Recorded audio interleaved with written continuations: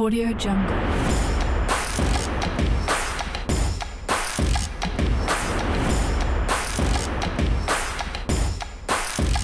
Hi guys, it's May from Rehab U Movement and Performance Therapy. Welcome to our new segment, Pick My Brain, episode one of our new segment, a segment that we decided to launch. Um, I'm pretty excited about the segment because I do get a lot of questions on social media, uh, some that I can't really answer, but a lot that I can answer. So it'll be nice to share some of the thoughts and answers on the blog.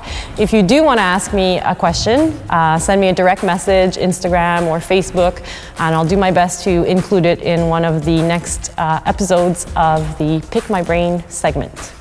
So, uh, I'm here with Joey Russo from Fast Strong Kinesiology, um, who's going to help me demonstrate some of the exercises that we'll go through uh, within some of the answers we have for you guys' questions on the blog.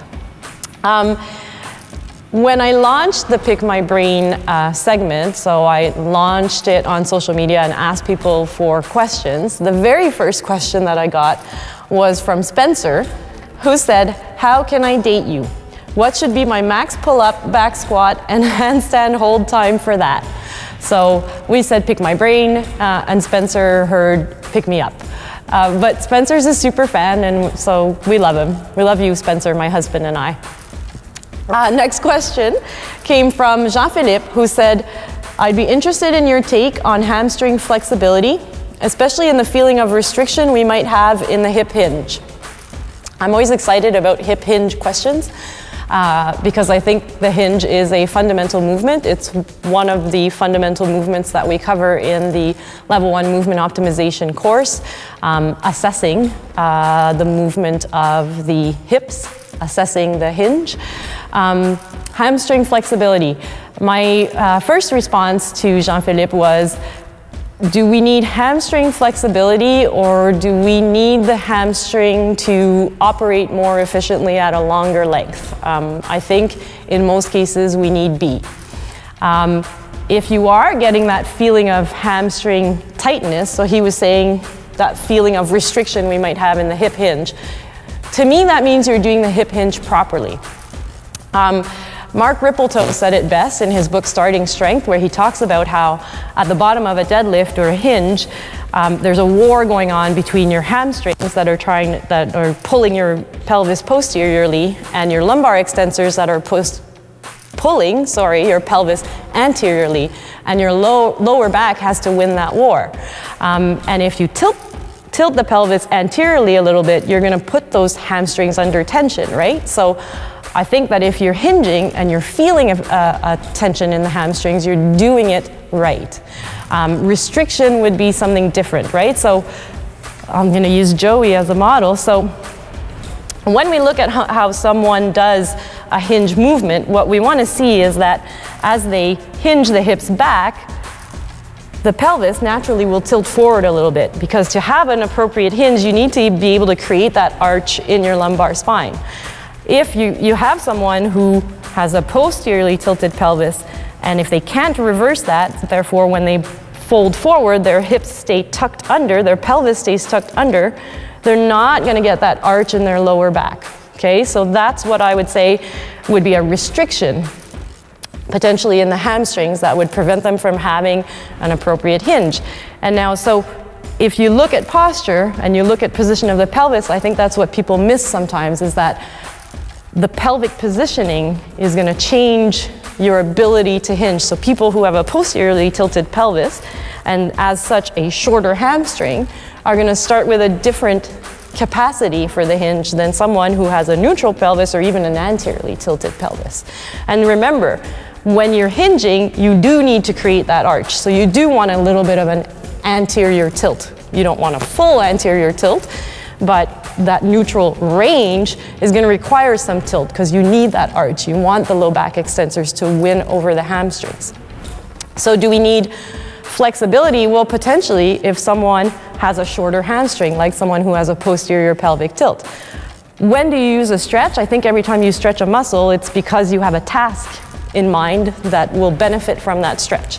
And we know that stretching will provide an immediate result. So if I foam roll, if I do a PNF stretch, um, if I do a static stretch even, I'm gonna get I'm going to get a window of opportunity. I'm going to get an immediate neural response that will increase my range of motion and that will increase my tolerance to stress, to stretch. So that feeling of restriction is going to decrease a little bit.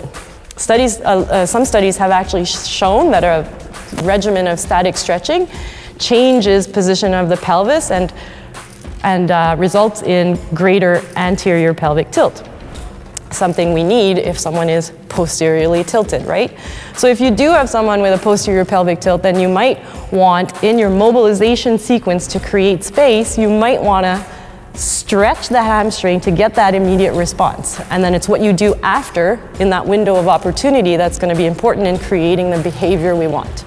So if you were going to do a stretch, now Joey could foam roll, he could do whatever he likes, or we could do a PNF stretch. So we could do a hold relax where we bring him into a stretch position and we want to make sure that now he's not his pelvis is not already tucking under from the pull of the hamstrings. So we take him to where we feel that we have that restriction and we get him to push down for six seconds and then as he relaxes, I'm gonna get that post isometric relaxation that's gonna allow me to take the stretch further. And you could do this three times for six seconds contractions. Okay, and every time he relaxes, I take him a little bit further. Okay, so that's hold, relax, PNF. So I can benefit from that post isometric relaxation of the muscle. So then I get that immediate response.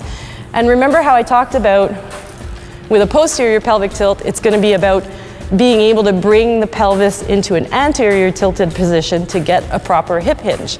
So we could even practice that in the activation sequence, for example, with Joey, where we would have him just practice anterior and posterior tilting the pelvis. And now he could do this standing, he could do this kneeling, okay? So just creating that awareness of that anterior tilt.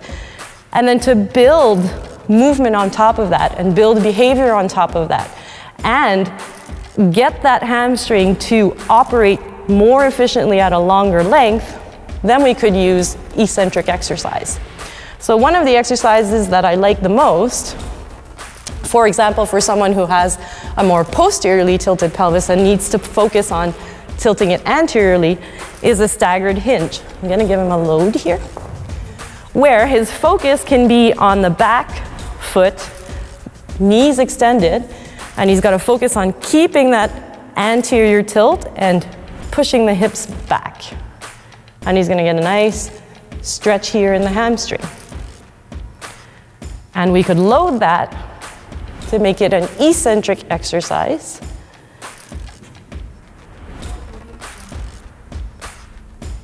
Okay, because we know that our muscles are going to respond to eccentric exercise by improving their length tension. So we're allowing the muscle to operate more efficiently at a longer length, which is what we need and want for the hamstrings in the hip hinge. Okay, so hopefully, uh, Jean-Philippe, that answers your question about uh, my thoughts on hamstring flexibility. Uh, stay tuned for episode two of Pick My Brain.